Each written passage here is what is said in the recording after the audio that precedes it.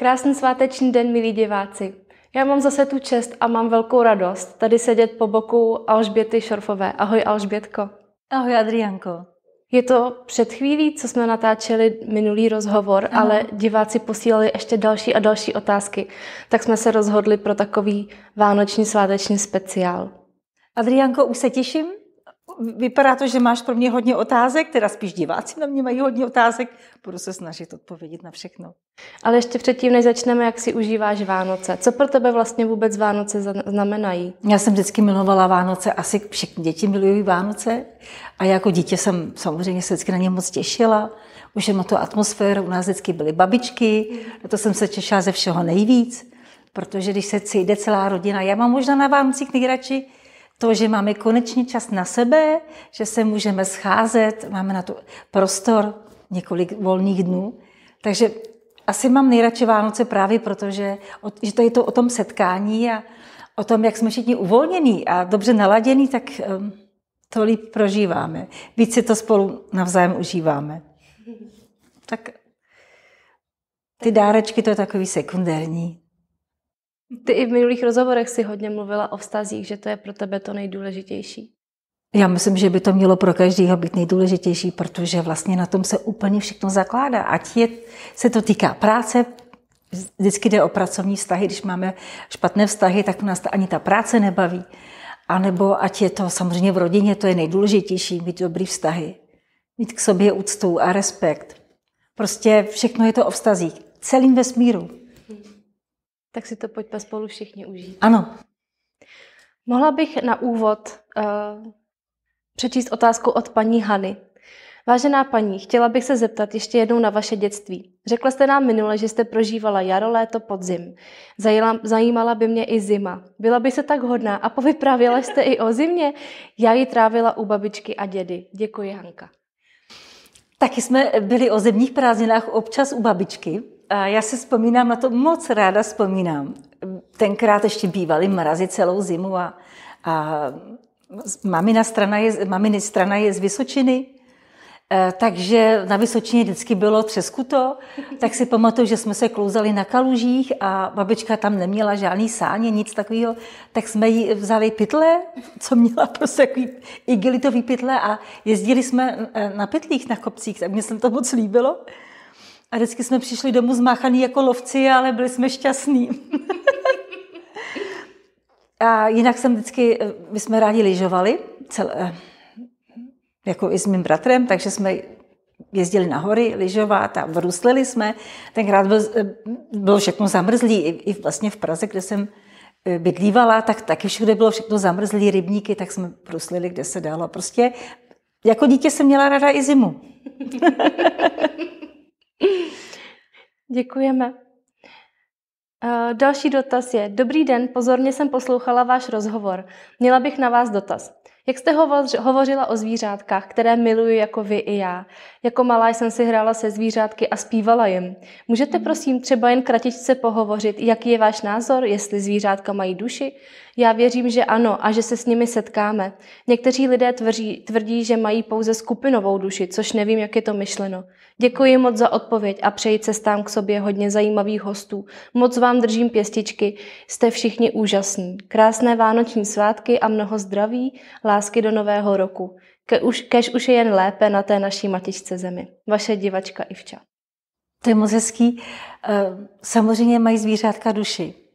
A teď se nebudeme bavit o žížalách a obroucích, ale o pejscích, kočičkách a ještě větších zvířátkách prostě mají duši. Já jsem vlastně kdysi dávno, když jsem dělala s jednou paní regresi, to jsem začínala a ona přišla s tím, že miluje zvířata a má problémy s lidma.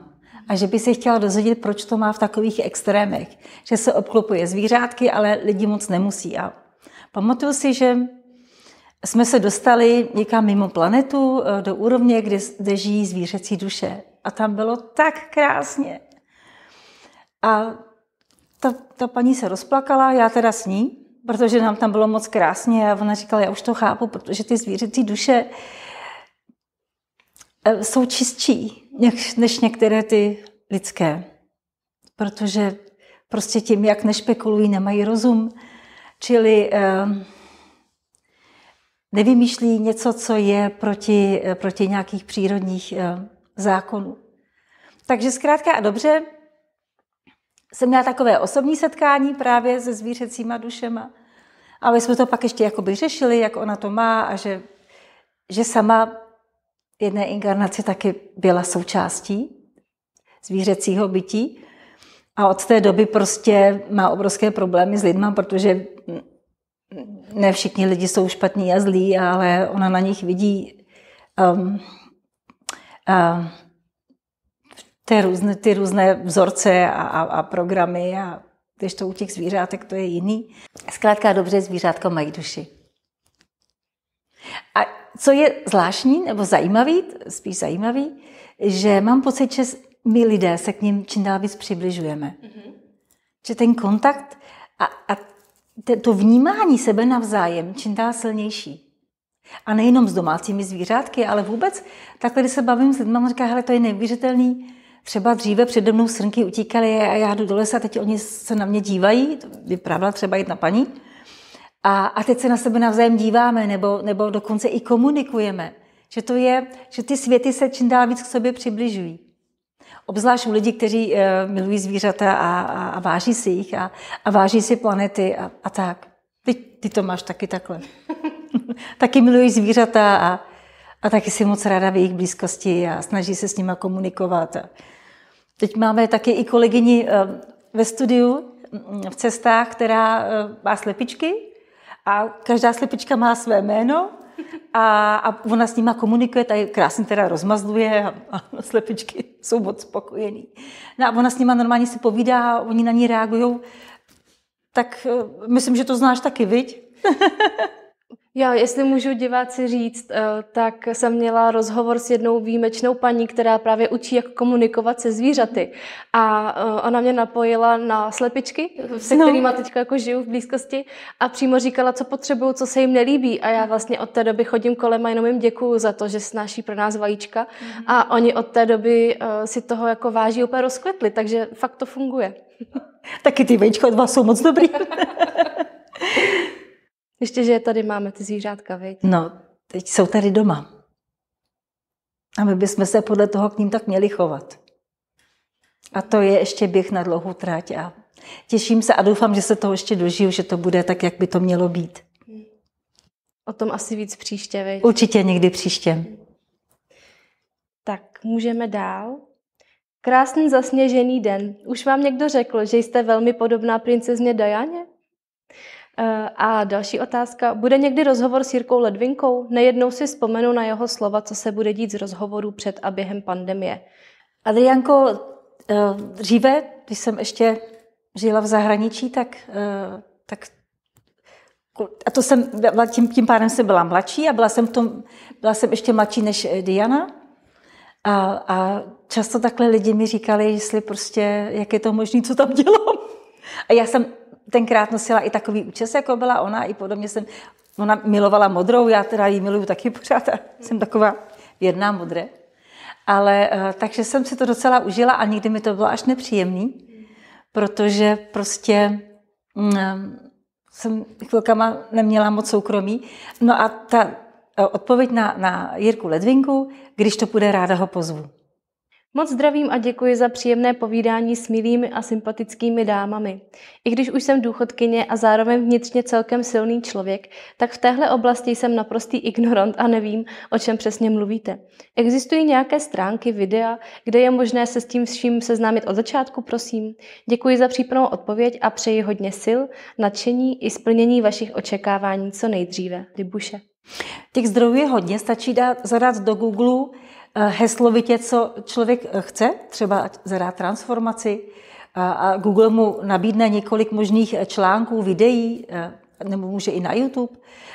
A zdrojů je nesmírně moc. Já vlastně si myslím, že se určitě dostanu k tomu popsat přesně, co se děje, protože to není jediná paní, která si o to psala psalo mi víc lidí, jestli to nemůžu víc vysvětlit, já to určitě vysvětlím. A věřím tomu, že tam máš pro mě takovou podobnou otázku. Určitě. Že se k tomu brzo dostaneme. Jo. Mm-hmm. Ale ještě než se k tomu dostaneme, tak se pan Viktor ptá, měl bych na paní Alžbětu otázku, jestli zná knížky a léčebný systém Sergeje Nikolajeviče Lazareva. Pardon. Teď tady u nás byl eh, dokonce na rozhovoru a já mám pocit, že dvakrát, neli třikrát tady byl pan Lazarev. Dvakrát to asi určitě, že jo? Takže ho znám. Je něco, čeho jste v tomto životě ještě spirituálně nedosáhla? Co jste se měla v tomto životě naučit? Jaká byla lekce nebo poznání? Martina. To je zajímavá otázka. Hodně zajímavá. Já mám pocit, že ještě je stále co zdokonalovat a že, že budu, já budu neustále pokračovat do, do posledního výdechu. Takže eh, přede mnou ještě je dlouhá cesta a vůbec si nemyslím, že jsem dosáhla úplně všeho naopak. Já mám pocit, že eh, ty práce na sobě bylo ještě málo a neustále pokračuju a je stále zdokonalovat. Takže dokud budu žít, tak eh, do té doby budu na sobě pracovat. a budu se snažit o, o cokoliv, co člověka posune dopředu. A že tam je pořád ještě na čem pracovat. Jak řekl Sokrates, vím, že nic nevím? Něco takového. Tak nějak, přesně tak. A přesně jak, jak to pokračuje dál, že čím víc člověk ví, tím víc má pocit, že míň ví. A, a to je ale děsně nebezpečná věc. jak se ti otvírá to vědomí ty dveře, tak ty ano. nevidíš, co všechno ještě. A kolikrát si člověk říká, jak bylo sladce a blaženě, když člověk toho moc nevěděl nebo míň viděl. Hmm. No bohužel. tak evoluci vpřed. Ano. Prosím Alžbětko o radu. Jak se vyrovnávat s úzkostmi, které mi při vědomé cestě celkem často jako velmi citlivé povaze přicházejí do cesty, paní Ivana? Záleží na tom, jaké to jsou úzkosti, jestli to jsou osobní úzkosti nebo strachy eh, takové generální, eh, třeba my duchovní, proto všechno prožíváme, tak, eh, tak prožíváme i války a další neštěstí, které se dějí venku. Čili záleží na tom, jaké, tam jsou, jaké to jsou strachy a každopádně určitě eh, je důležité hm, se tím zabývat, protože ono se to dá zvládnout i bez strachu, nebo bez těch zužujících strachů. Samozřejmě, že nám to není jedno, co se děje s planetou, co se děje s lidstvem, co se tady vůbec děje, ale může to být i bez strachu. Takže jít potom, zpracovat to, Často to pramení z dětství, z minulých životů. Ideální jsou na to konstelace, jsou i osobní konstelace, kdy vlastně čl, eh, nikdo člověku zrcadlí, kde se vzal ten strach, proč to takhle má a co s ním má dělat. Určitě se tím zabývat. Strach není nic dobrého na, na dlouhou dobu. Proč tu situaci ve světě vidíš tak černě? Eh, kvůli naději na něco ještě lepšího, nebo protože je to fakt blbé? Ale energeticky se to dost pročistilo. A naděje mi přijde, že roste každým dnem. Jak říkala před delším časem na cestách k sobě Karajmy, teď už se to nemůže pokazit. Už se něco stalo a ještě to probíhá, ale už se to nedá zastavit. Nevím, jaká slova použila, říkám to vlastními slovy. Tehdy v té době jsem měla ještě trochu pochybnosti. Teď s tím tvrzením souhlasím už plně pro, do, pro dobu teď. Z posledního rozhovoru s Alžbětkou mám ale pocit, že paní Alžbětka to možná vidí jinak. Vidí to jinak? A když tak jak? Takže kam asi míří je to, že vlastně já jsem minule eh, pronesla, že lidstvo potřebuje pomoc a zatím si opravdu stojím. Samozřejmě, že lidi mají udělat maximum pro to, každý musí dělat maximum pro to, aby bylo líp. Prostě pracovat na sobě, podporovat všechny transformační Eh, záležitosti, ale teď úplně tvrdá realita. A na to se člověk musí podívat, i když se mu to nelíbí. My tady žijeme ve VIP salonku, jsme malá země uprostřed Evropy.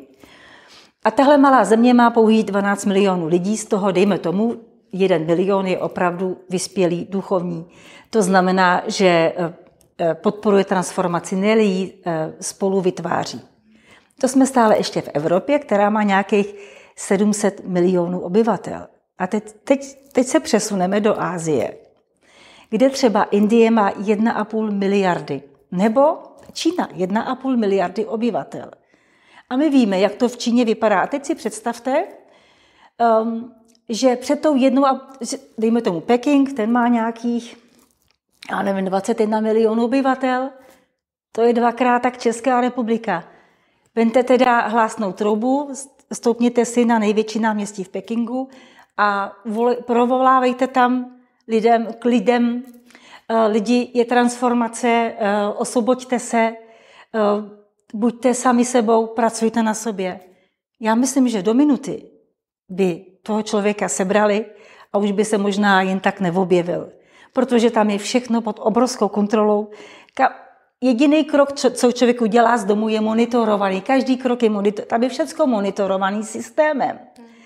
A v této zemi, která je vlastně přísně, přísně střežená, kde vlastně lidi sotva mají soukromí, takže jedna a půl miliardy lidí.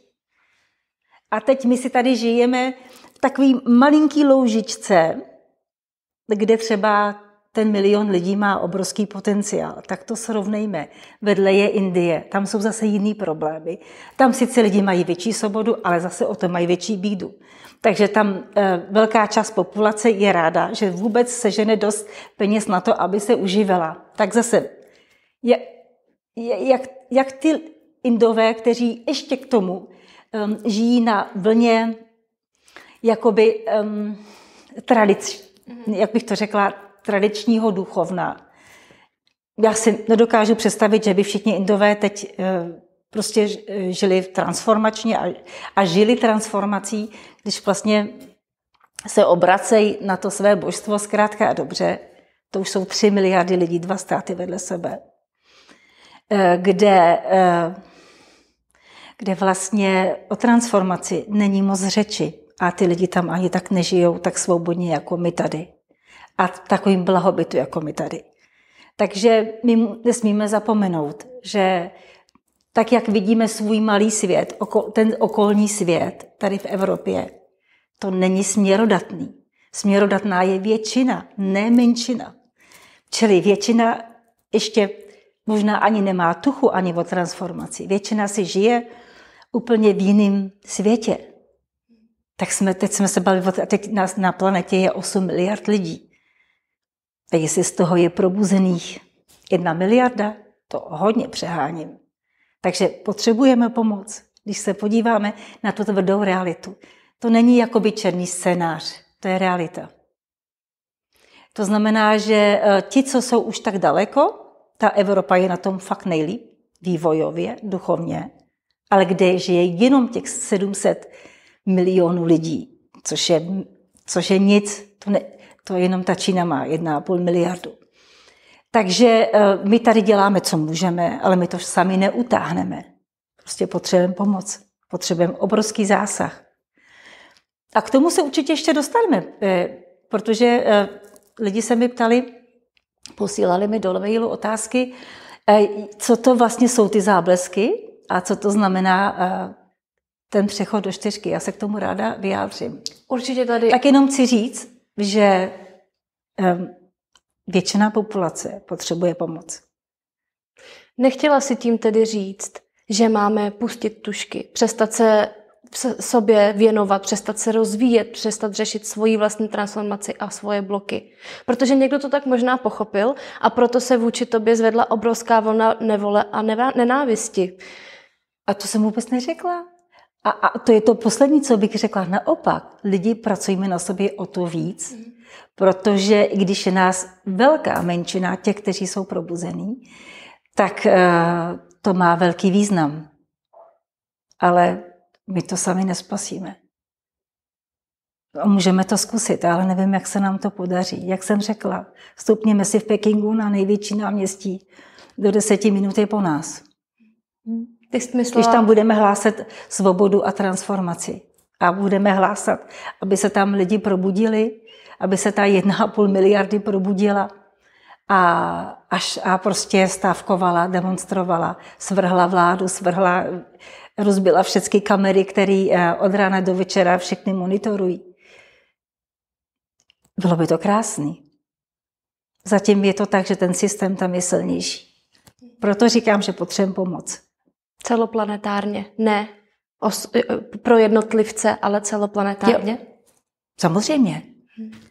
Cel, jasně, já jsem myslela celou dobu, že lidstvo na planetě potřebuje podporu a pomoc. Protože jsme na tom tak, tak, jak na tom jsme. No.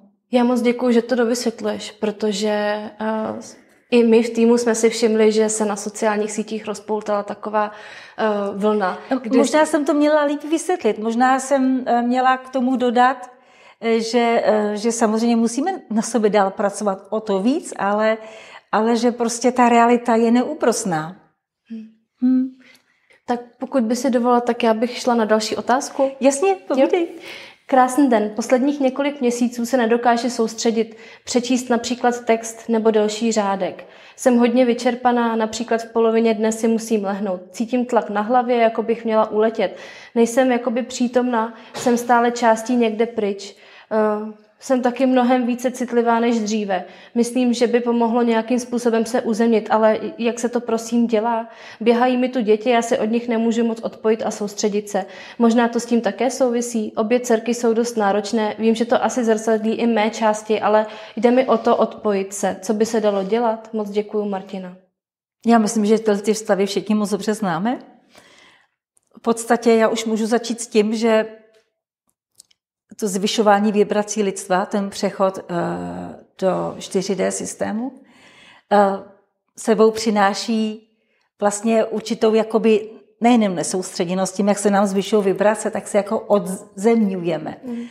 A já to znám moc dobře, já už uh, roky nějakým způsobem se snažím vždycky se co nejvíc nohama držet na zemi, obzvlášť když pracujeme duchovně, tak, nebo prostě spirituálně, když pracujeme, tak, eh, tak to uzemnění je pak nesmírně důležitý, protože nejenom, že člověk pak vidí svět jinak, ale eh, že má mm, eh, tak jako i to tělo pak strádá. Čili každý máme svůj způsob, pro někoho ideální chodit do přírody, což je opravdu to nejlepší. Tam se krásně uzemníme a naladíme a dostaneme se zpět hmm, sami do sebe. Někdo zase moc rád si zacvičí, aby, aby zase posílil to tělo, aby, se, aby vnímal to tělo. Někdo se zase třeba rád dobře nají. to je takový nejrychlejší, se dát něco k jídlu, tím se rychlejší uzemní.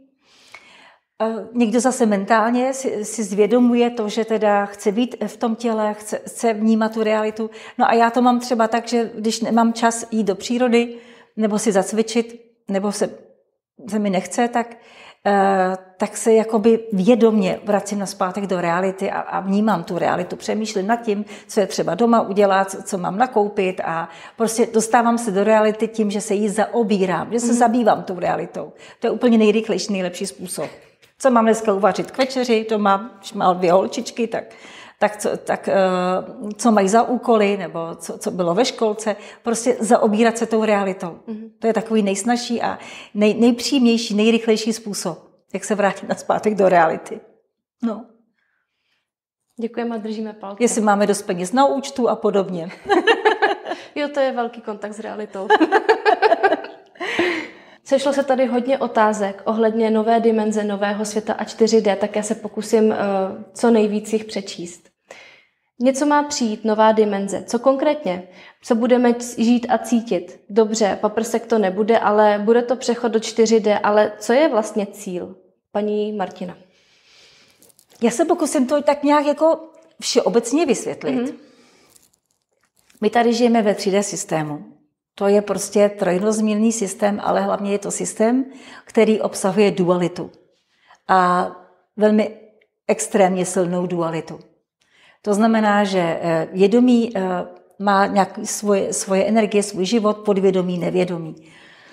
A ten 3D systém momentálně už je eh, hluboce překonaný. Čili lidstvo se si v ním žilo a procházelo nějakými zkušebními lekcemi a mm, zkušenostmi po tisíce let. A protože prostě už při, e, jako končí jeho platnost, končí vůbec smysl toho, proč sem vstupujeme do 3D, do té duality. A taky proto, že vlastně se to moc neosvědčilo, jelikož ono se to vlastně zvrtlo. E, protože e, ta dualita měla být v rovnováze. Hmm.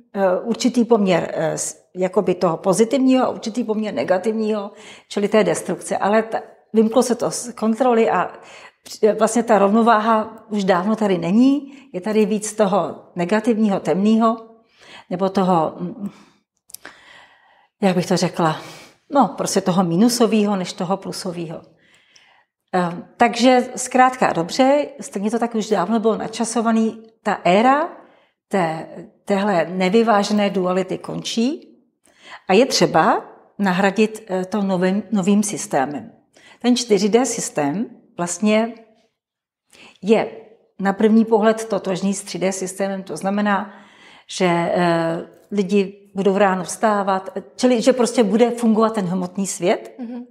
Budou mít eh, svoje úkoly, svoje, budou samozřejmě tvořit tak, jak oni budou chtít nebo budou, bude jim k dispozici, bude jim umožněno. Prostě je, je velmi podobný tomu 3D systému, ale ta dualita, která tam je, je na jiné bázi. Mm-hmm. To znamená, že to, to minusové, to negativní, má funkci spíš toho nevědomého, kde člověk skrze to, že mu něco chybí, nebo že něco ne, ne, neumí, neovládá, tak, tak má prostor se to učit.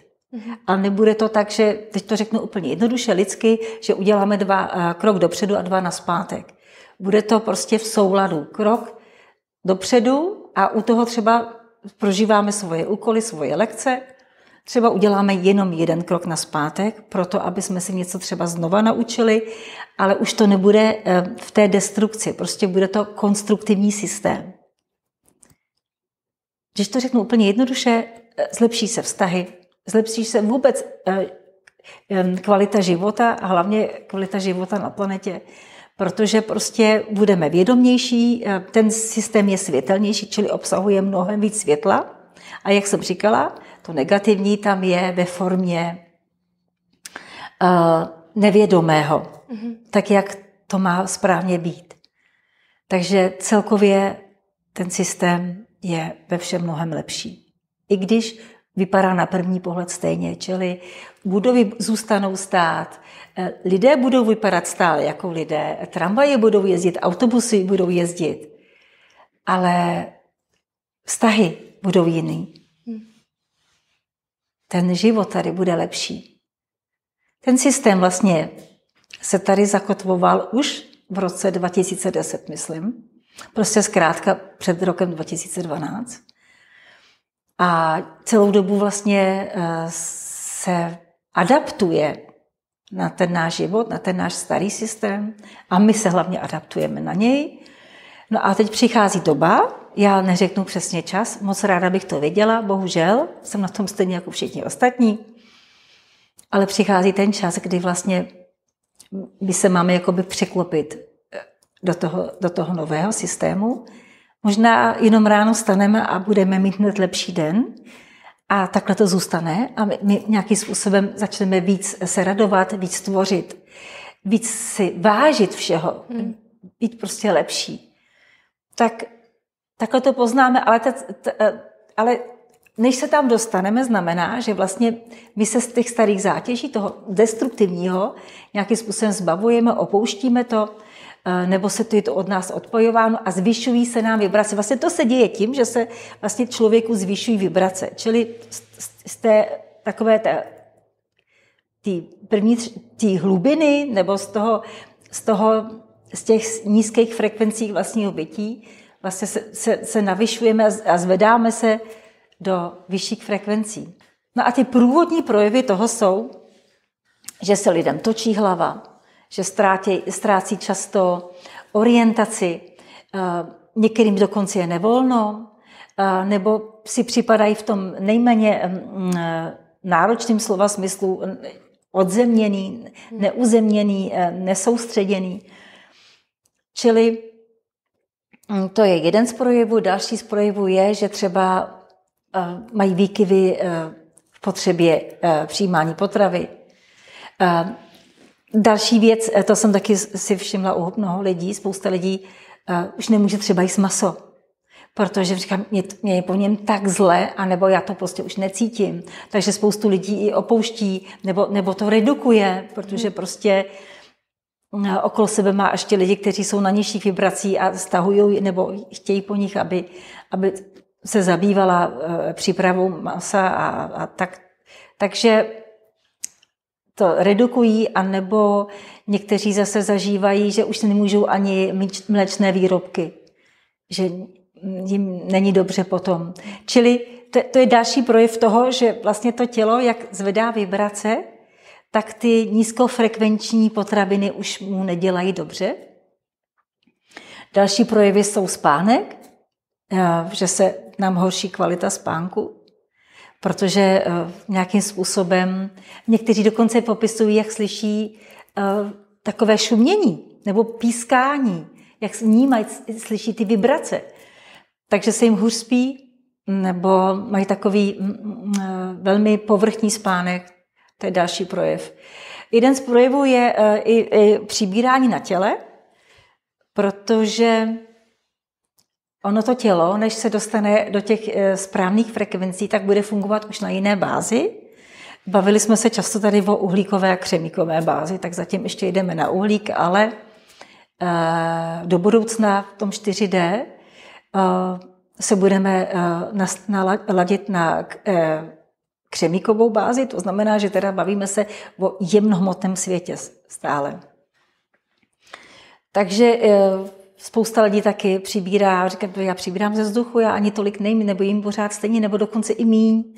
Ale to se týká i transformace očišťování těla, že jak se z všeho zbavuje, tak ta lymfa nestíhá, čili spalování se zhoršuje. To je jedno s druhým. Prostě ty projevy na tom fyzickém těle jsou hodně znát, i na psychice. Mm-hmm. Že můžeme mít výkyby, tak, takový určitý psychický lability a tak dále. Bude to trvat tak dlouho, dokud eh, se nenavibrujeme eh, na, na ten nový systém. Jak jsem říkala, možná jenom ráno se probudíme a zjistíme, že, že je nám dobře a že najednou všechno utichlo, lidé se stahují z válečných zón, to znamená vojáci se stahují a, a najednou už není potřeba válek, už není potřeba násilí. Takhle to poznáme. Hmm. Bude to možná tou naprosto přirozenou cestou. A my se do toho dotransformujeme, dovibruj, donavibrujeme. A my to sami samozřejmě netvoříme, s tím nám pomáhají z hůry, jak já říkám z hůry. Já nechci eh, konkrétně mluvit, protože na tom se podílí miliony bytostí. A, takže z hůry znamená všichni ti, kteří se na tom podílí. A jednoho dne třeba tady i spolu budeme rozhovoru sedět a budeme si říkat, tak co teď dál, teď, teď budeme pokračovat evolučně. Hmm. Budeme tvořit. Se na to moc těším. Myslím si, že i všichni diváci se moc těší, mm-hmm. až opustí destrukci, ty strachy a všechny ty věci eh, nebo bloky, které nás zpomalují k vývoji. Mm-hmm. A možná to nejdůležitější, co bych měla říct, že vlastně to navibrování, to zvyšování vibrací, to znamená uh, odlehčování se od té těžké hmoty, provází obrovské čištění. A to všichni taky asi známe, teda my, my, my určitě, že že vlastně to tělo je konfrontováno se starým světem, se starými bloky, se starými programy a vlastně nějakým způsobem je třeba se těch programů zbavit, odpojit se od toho, ukončit to. A k tomu pomáhají ty záblesky. Alžbětko, to je dobře, že jsi zmínila záblesky, protože tady se zrovna uh, paní ptá. Paní Alžběto, prosím, vysvětlila byste, co jsou ty záblesky? Budou zrakem viditelné? Děkuji, velmi si vás vážím. Jarka. Oni jsou fakt viditelné. Já jsem to zažila několikrát, poprvé před rokem. S tím začali ve velkým. A představte si, to je jakoby energetický výboj. Mm-hmm. Najednou se vám rozsvítí v e, místnosti, nebo prostě cítíte takový jakoby blesk. A v ten moment je to namířeno do vašich jakoby energoinformačních e, sítí, do vašich programů a ten moment prostě to tam bleskne a ty programy se zhroutějí, prostě popadají. A pak většinou člověk lehne s výrozou. Protože vlastně ty programy jsou viry, v těch programech jsou viry a projeví se to jako výroza. Takže po prvním záblesku jsem fakt lehla a to teda byla opravdu síla. A předtím, než vlastně, než, než jsem to zažila, tak, eh, tak všechny ty staré programy ze všech možných životů, co jsem si tady prošla, a že jich opravdu bylo hodně, tak mě vyplavaly na povrch. Teď jsem se se vším konfrontovala, hmm. i když jsem si myslela, že už to dávno v sobě nemám vůbec. Teď to vyplavalo na povrch, teď, teď to vypadalo jako, že člověk se zblázní z toho, čím vším si musel projít a tak. A pak najednou blesk se rozsvítilo v místnosti a všechno mi to spadlo. Já jsem pak ležela s pořádnou výrozou, protože vlastně tím, to, ty víry vlastně uh, se z toho uvolnily, z těch starých programů, tak jsem se z toho vyčistila, očistila a moc se mi ulevilo a spoustu věcí, které tam někdy byly latentní, tak najednou uh, se mi moc ulevilo. Hmm. Cítím se taková lehčí. Ten první závazek byl nejnáročnější. A naštěstí takhle se se ptala různých lidí, vlastně od minulého roku to tady byl, už bylo ve velkým a lidi to zažili taky a do dneška vlastně to funguje, ty záblesky pořád jenom lokálně, ne, ne celoplošně zatím, jako celoplanetárně, ale lidi taky říkají, prosím tě, u mě se doma zablesklo a pak jsem lehla s výrozou. Říkám, no, tak pak vysvětlu, jak to funguje. Je to energetický náboj, který prostě mají na starosti světelné bytosti. Může to být i naše vedení, které se na tom podílí. On to zní jako obrovská halus. Lidi, kteří v podstatě žijou ještě na jiných frekvencích, tak se říká, ta až by to, co to tady vykládá. Ale tím, že nejsem jediná, která to zažila, mnoho lidí už o tom mluví a žije to. A hezky o tom mluvil Gabriel, který vlastně bydlí tam velký kus od nás v Brně, nebo u Brna. A, a, takže víme, o čem mluvíme. Když Ale člověk na to musí být připraven, protože uh, vlastně on musí být ty, ty programy, ty bloky, musí mít odžitý, aby do toho mohli pustit záblesk, protože když to člověk nemá odžitý, tak jako by mu sebrali tu lekci. Takže jakmile máme ty věci odžitý, ale ty programy máme stále v sobě a vadí nám to a mrzí nás to a trápí nás to, že to v sebou, v sebou, sebou táhneme eh, možná po tisíciletích, tak potom s tou metodou se to krásně uvolní. Když se nám to stane, nebo co to by pomohlo se toho rychleji zbavit z toho těla, aby si se uvolnila, aby ta viróza přešla, protože zabírali ty nějaké léky na to? Hele, mě moc pomohla lichořešičnice. V každé lékárně koupíte kapky, která je vlastně antibiotická, antivirální, mm. takový šikovný antivirotikum. Tak jsem nasadila silné dávky kapek, že tam píšou nějakých 25, tak já jsem si dala dvakrát tolik a ráno i večer, prostě aby to mělo rychlý nástup a moc mi to pomohlo, mm. že mi to pomohlo tomu tělu dát sílu a vyčistit se a ono to hezky, ta likořešnice je taková spásná, tak jsem brala ve velkým a moc mi to pomohlo. No, samozřejmě pak ještě existuje izoprinosin a takovéhle věci, ale uh, já mám radši tu, tu, ty přírodní um, věci, protože prostě to tělíčko to líp, líp snáší. Hmm. Ale každý to máme jinak. Ono těch, eh, pak jsou různé bylinky, na, na, na, Petr Chobo taky má spoustu zajímavých bylinek na čištění od viru těla. Mhm. Děkujeme za tip. Stačí eh, líst na Google a zadat si eh, byliny na odvirování nebo něco podobného a tam se nám nabídne spoustu eh, preparátů. Zdravím Alžbětku i Adrianku. Mám dotaz týkající se přechodu do 4D. Až se to stane, tak to budeme žít paralelně ve 3D i 4D? Nebo jak to bude v 3D? To ti, co přestoupí do 4D, zmizí? A co děti půjdou automaticky do 4D, předpokládám? Moc děkuji a přeji hodně zdraví a sil, paní Jana. No, to taky stále se dáme nahoře a řešíme to, jak to vlastně bude s lidmi, kteří ještě mají těžkou karmu eh, a hodně silný bloky a nejsou vůbec připraveni na to eh, být eh, v záblescích se vůbec nebudeme bavit, ale eh, vůbec jako nejsou připraveni na zvedání vibrací, nebo ta karma je zatěžuje.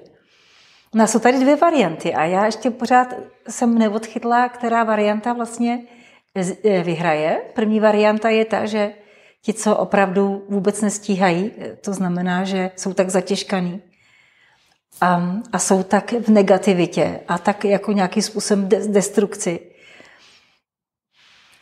že buď budou u dejty, ta varianta už je docela dost stará, ale zdá se, že, že jako už ztrácí na svý síle. A druhá varianta je, že tady vlastně budeme v jednom světě, ale jakoby eh, na těch nižších, ty lidi v těch nižších vibracích ještě se stále budou pohybovat v trojce a, a my už ve čtyřce. A já jsem to třeba jednou zažila, že eh, jsem svět okolo mě viděla v hezčích barvách, ale tak bylo reálně, ty barvy byly hezčí, všechno bylo pozitivnější, lepší, ale vnímala jsem i to, že lidi vedle mě to tak nemusí mít, jo? že třeba jsou plný trápení a teď, teď se tím zaobírají a já jsem měla takovou čistou um, prosvětlenou mysl v ten moment, když jsem na chvilku byla nalazená na ten nový svět a já říkám, tak takhle asi by to fungovalo, nebo mělo fungovat, nebo bude fungovat, že vlastně je to jeden svět a to byla taková zajímavá zkouška, ale měla, zjistila jsem, že když jsem mluvila na lidi, co jako bylo, byli na nízkých vibracích, prostě jako byli zatěžkanější, tak oni mě neslyšeli, oni mi skoro vůbec nerozuměli. Mm-hmm. A říkám, no tak to jsem teda zvědavá, jak se domluvíme. Protože tak jsem, jako, tak jsem zvýšila hlas a měla jsem pocit, že to není v ohlase, že t, ale že to je o vibracích. Mm. Říkám, no tak to, bude, to se bude muset asi ještě doladit. To jsem, to jsem na to moc zvědavá, jak se ta situace vyřeší, aby eh, ty lidi, kteří prostě jakoby jsou vidět, ale uh, jsou trošičku uh, jinak navibrovaný, aby, aby neustále, jako ještě stále korelovali mm. s těmi, co jsou, co jsou uh, prostě v tom starém světě. Takže jsou dvě varianty. Buď um, bude jenom 4D a ty, co uh, nejsou na to připraveni a zrali, tak budou odejti ať to bude třeba skrze infarkty a podobně, a nebo protože to tělíčko to nezvládne, protože ta psychika to nezvládne, a nebo druhá varianta, které se čím dál víc přikláním, a to je jenom o, mým uh, úhlu pohledu, uh, že vlastně budeme žít uh, v paralelních světech, kde ti, co skrze tu destrukci, kterou mají v sobě, nejsou schopní se udržet na vyšších vibracích, tak se dočišťují, eh, dořešují si svý eh, na druhou a, a vlastně a mají pořád ještě šanci se dostat do těch vyšších světů. A teď nevím, jak to bude s lidmi, kteří jsou na tom hodně špatně, hmm. kteří jsou um, hodně lapený zlem. To si nedokážu zatím představit. Na druhou stranu, když tady na Zemi celkově budou vyšší vibrace, tak nějakým způsobem už to, ten starý svět, ten temný svět v tom nebude podporovat. Takže i oni třeba na tom budou mnohem líp, protože bez podpory to nebude tak fungovat. Bude to hodně zajímavý a, a těším se na to. A jsem zvědavá, sama jsem zvědavá, jak to dopadne, jak, jaká varianta, jak to vůbec přesně bude. Myslím, že nikdo přesně nemůže vědět, protože on se to neustále mění a vyvíjí. Ještě nedávno podle všech, eh, všech eh, jasnoviců tady měly se potápět kontinenty, měla by třetí světová a tak dále. To všechno bylo zažehnáno, to všechno bylo prostě nějakým způsobem omilostněno. A, a, ale ta milost funguje dál, jako proudí dál, čili ještě se může stát, že tady nebudou, nebudou miliardy lidí odejít, ale že to bude jinak. Uvidíme.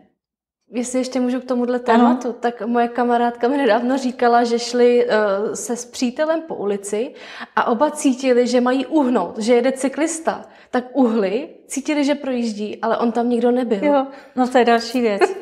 Nebo že vidí zvířátka kolem sebe a když mrknou, tak tam najednou nejsou. Je to taky příznak tohohle toho přechodu? Je, je. Taky trošku náročnější. Jo, známe to moc dobře. Nejhorší je, když jdeš autem a tak máš pocit, že že se sama na silnici a ono to tak není, nebo i obráceně, že ty světy jakoby se prolínají a um, ty, ty, když, ty vibrace, když momentálně jako nejsou v klidu a velmi, jakoby, když to řeknu jednoduše, skákají, mm-hmm. tak, tak, tak uh, se ti tam vnímáš obrazy, vnímáš bytosti, které v tom 3D tam nejsou. To se bude muset doladit. Paní Rafaela píše, že jsi úžasná a moudrá bytost. Děkuji. Souhlasíme? Uh, a potom paní Sonka uh, by se ráda zeptala, jak se máme stavit k temné energii, jak to ustát víc lidmi, když přeze ně pracuje, když přeze ně vychází. Moc děkuji za další informace. No záleží, jestli to je eh, někde ve společnosti, nebo jestli se to děje u nás doma. To je hodně podstatný, když vlastně eh, v jedné jiné komunitě jsou lidi tak jako různě, různě zatížený, anebo taky už ne, tak eh, to chce hodně lásky, hodně pochopení, hodně soucitu.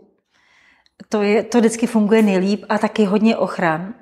Někdy třeba žijeme vedle člověka v rodině a um, nic s tím nenaděláme, který ještě si řeší nějaké hodně staré věci a ještě nespracované věci, tak uh, je dobrý uh, určitě se chránit.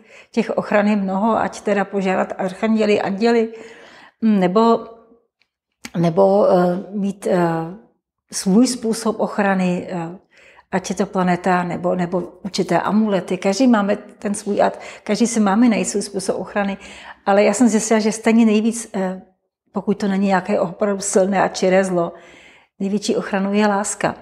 To znamená, a není to vůbec kliše, jako když je člověk pozitivně naladěný a tak nějak je zabalený do, do té pozitivní energie, takové jakoby do, toho, do té energie soucitu a pochopení s každým, protože všichni jsme se tím prošli. Mm. A já si vždycky vzpomínám, na svoji minulost a hlubokou minulost a vždycky, když jsem jako inklinovala k tomu někoho odsoudit, tak jsem si vzpomněla sama na sebe, říkám, se o tom byla stejně, taky si začínala eh, na základní škole, pak si, pak si postupila do střední a, a pak si teda eh, se dostala na, na, na, do těch vyšších ročníků.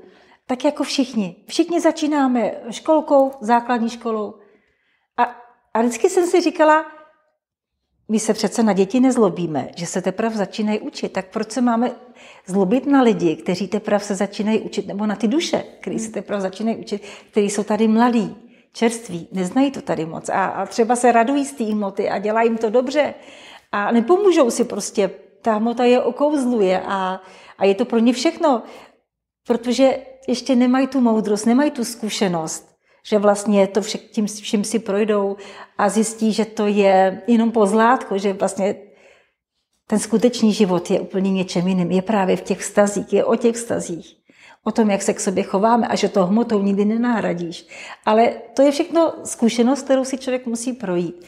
Takže někdy je to o velkém pochopení a soucitu, s tím, že ten člověk teprve něco poznává, učí se nebo něco udělal špatně, chybně, jako všichni v minulosti a teď si to nějakým způsobem teď tom žije a musí si to zpracovat, ale to neznamená, pozor na to, a v tom je velký rozdíl, je, to do, je dobrý mít soucit, ale je taky dobrý být přísný. A někdy, když člověk jenom je takový soucitný až měkký, tak ten druhý ho začíná potom využívat nebo si ho neváží a nějakým způsobem v tom vztahu trpí, nebo v těch stazích trpí, tak je dobrý eh, být i přísný a být sám sebou. A taky se umět chránit. Je tam oboje dvoje. A je to moc důležitý. No a někdy nám eh, někdy pomůže, když eh, tomu druhému poradíme, ukážeme směr, protože sami jsme vždycky byli vděční za to, když nám ukázal někdo směr. A někdy zase to vůbec nefunguje, protože ten člověk si nechce nechat poradit, protože si chce projít tím, čím si prochází. Každý situaci je to různý. Držíme palce. A všichni to známe, všichni jsme to absolvovali. Nikdo uh, tady není, uh, že by byl bez viny a že by neudělal chybu. Hmm. Fakt. No.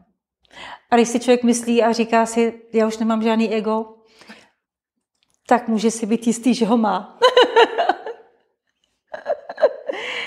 to je taky zajímavá zkušenost. Rozhovory s paní Alžbětkou mám moc ráda.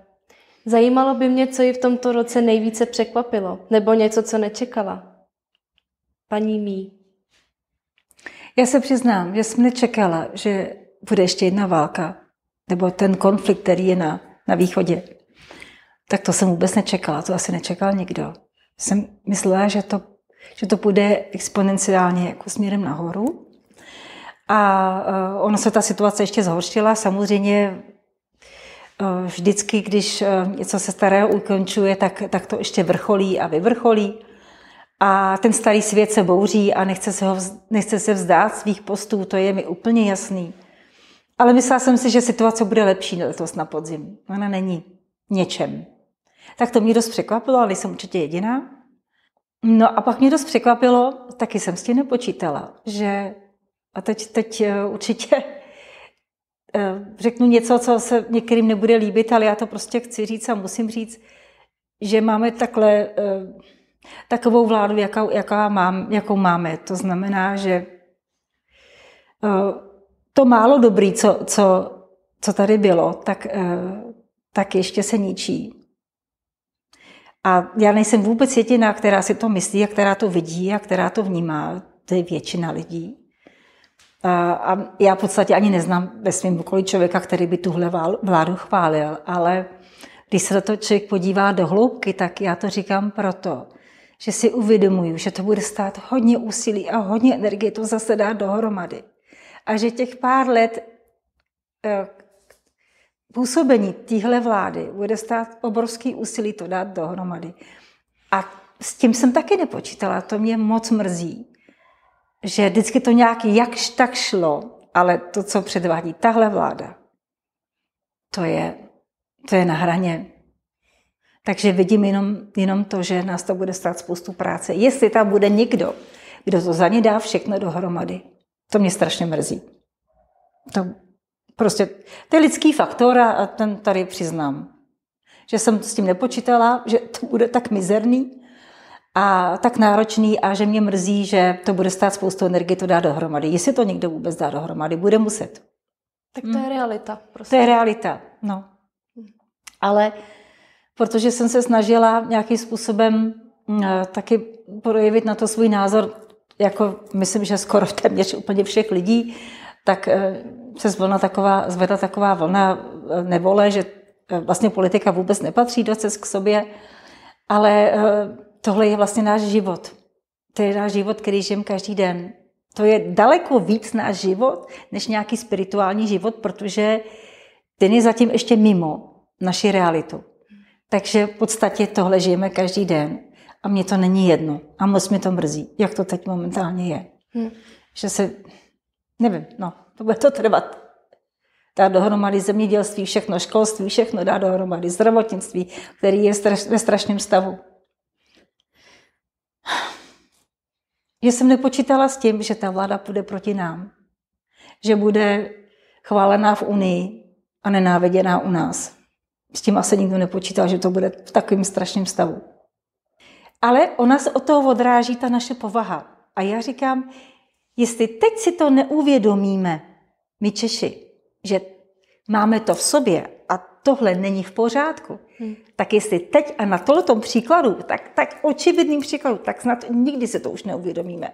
Že musíme, že, že máme málo uh, hrdosti, nejsme vůbec vlastenci. Hmm.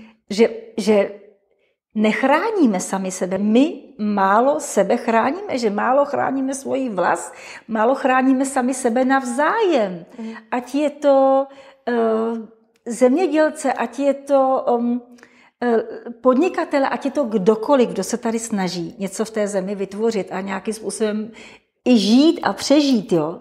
tím, že něco vytváří, že prostě jdeme proti sobě. A tahle vláda nám to dokonale ukazuje jak jsme bezcitní a bezohlední vůči sobě. Ona se tak vůči nám chová. A já říkám, jestli tohle nás neprobere, že se musíme změnit, že máme daleko víc stáhnout za jeden pro vás, že se k sobě máme chovat líp, že se máme navzájem podporovat. To, jak vlastně my tady máme téměř nejdražší energie, nejdražší potraviny v Evropě, teďko myslím za tu krátkou dobu, tak to je přece jasná demonstrace toho, jak se my sami k sobě navzájem chováme. Takže říkám, jestli, a ta vláda to ještě k tomu podporuje, ona proti tomu nic nedělá, ona nedělá žádný opatření. Všecko by se dalo eh, zlepšit, kdyby ona chtěla, ale ona nechce. Ona prostě pro úplně cizí, tam, ta, nějakou Evropskou unii v úvozovkách, tak tam funguje a doma nefunguje. Já říkám, to je náš vzorec.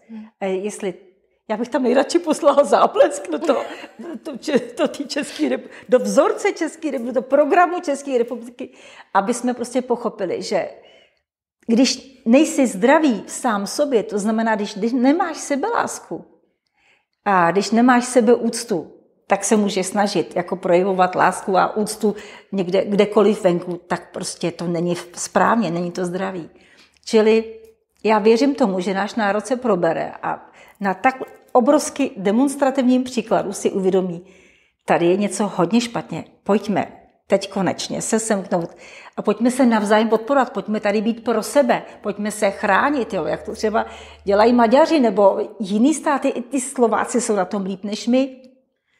I oni přece jenom, takhle se, ne, jak bych to řekla, Nedrancují? Nedrancují. Děkuji za to slovo. Oni se, my sami sebe drancujeme. Je to strašný. Došlo to až takhle daleko. A teď je to tak jako extrémně vidět, že tahle medvědí služba vlády, doufám, že se promítne v našem uvědomění, že nám to konečně dojde, že tohle je extrémně špatně. Musíme skončit s tím, s tím sebedrancováním. Je třeba, aby jsme prostě byli národ sobě, tak jak je to v tom Národním divadle napsáno. Já říkám, to je ono, národ sobě. My tady nejsme pro sebe, my jsme tady pro druhý. A sebe poškozujeme. Já už to beru jako poškozování. No. Takže, kež by to tím se zlomilo. To s tím totálním vyvrcholením hmm. toho našeho vzorce se zlomilo a úplně se eh, rozpadlo a a my se začali k sobě chovat dobře. Ke svý zemi, k, k nám navzájem. Hmm. Vláda, a nejenom vláda uh, k lidem, co se tady snaží, ale všichni k sobě navzájem. Tak to dobrý na tom je, že to taky vidět, že není možný si toho nevšimnout a není možný si to neuvědomit. Tak asi to k tomu. a je něco, co tě třeba potěšilo? A disku naposledně potěšilo to, vlastně by jsme už v prosinci a celý, uh, velká část leta byla hodně suchá a nejenom tady v Čechách, ale v celé Evropě a vůbec jako na planetě bylo zase sucho. Hmm. A já myslím, že už z toho mají nejenom zemědělci, ale spousta lidí z toho má trauma, protože prostě, když není voda, není nic. No a teď v listopadu hodně pršelo, čili voda se doplnila a nejenom v České republice, v celé Evropě, kde vlastně v řekách nebyla skoro už žádná voda. Hmm. Třeba si pamatuju pád, který vlastně zavlažuje celou severní Itálii, tak tam nebylo z čeho eh, napojit zvířata a přírodu. Tak, takže voda se vrátila, doplnila, tak to mě moc potěšilo. Že kdyby měli znova přijít sucha, tak je aspoň z čeho zatím čerpat. Mm-hmm. Že se voda doplnila. Alžbětko, cítíš nějakou zodpovědnost ve své moudrosti bytí za lidstvo nebo za lidskost, paní Zuzana? Cítím. Necítím vinu, ale cítím zodpovědnost. A, a vím, že když tady takhle něco říkám a prohlašuju a když podporuju eh, mnoho lidí, eh, které vlastně moderuju, nebo ty moderuješ, nebo Petr, tak je to obrovská zodpovědnost. Na druhou stranu Kdybych tu zodpovědnost ještě víc jako umocnila, tak bych nemohla dělat vůbec nic, protože všechno je nesmírně pomíjivý. Dneska to vidíme takhle, za měsíc to můžeme vidět jinak, nebo to může být jinak. Takže neustále balancuju mezi tím, kde ta zodpovědnost má své hranice, abych vůbec něco mohla předat lidem. Mm-hmm. Protože opravdu za půl roku tady může být úplně jiná situace, anebo taky ne. Nebo se může stát, že my tady za půl roku budeme sedět a ještě nic ve velkým se nebude dít, jenom stále budeme prožívat to, co teď prožíváme, ať frustraci, nebo právě to navibrování, kde se nám, kdy prostě se nám točí hlava, jsme málo uzemněný. To se taky může stát. Ale jsou věci, které já tady eh, ze země neovlivním, nebo jako Alžběta neovlivním, tak neustále balancuju kolik můžu vypustit, eh, do jaké míry mám zodpovědnost. Moc si to všechno uvědomuju. A taky dlouho jsem se nehlásila, dlouho jsem moc eh, eh, nepřidávala své názory do kruhu, protože jsem sama nevěděla, jako kam se to vůbec bude ubírat. Teď už je malinko jasněji, hmm. A, a taky to celou dobu v nějakým způsobem pozorujeme a jsme, se snažíme se být u toho nebo to vnímat a, a, a, a být součástí, aspoň být součástí toho, ale ještě jsem nesnědla vůbec veškerou moudrost světa, ještě ještě já sama, jako všichni ostatní, nevím přesně, jak to bude. Taky to může být všechno trošku jinak. To může být jinak. No. Ale snažím se teda a hlídám si to moc, aby v tom nebyla jakákoliv manipulace, mm. protože to je velmi zrádný a vždycky se to vrací na zpátek. Dobrý den, chtěla bych se zeptat, zda má paní Alžběta názor na změnu kalendáře a proč to vytvořili. Je 13 úplňků, někdo řeší i kalendářní měsíc hadonoše.